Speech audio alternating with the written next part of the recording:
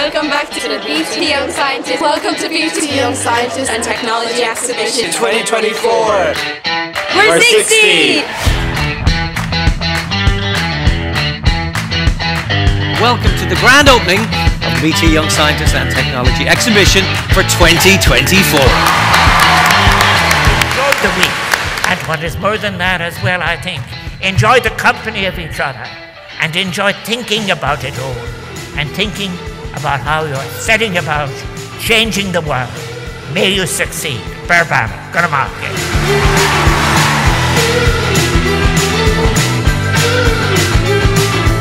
Congratulations on 60 years. The best thing about the exhibition is it really encourages young people all over the country to take an interest in science, technology, engineering and maths. If you think about it, a lot of our economic success in Ireland is down to the fact that we have a lot of investment in the country. Young people study those subjects.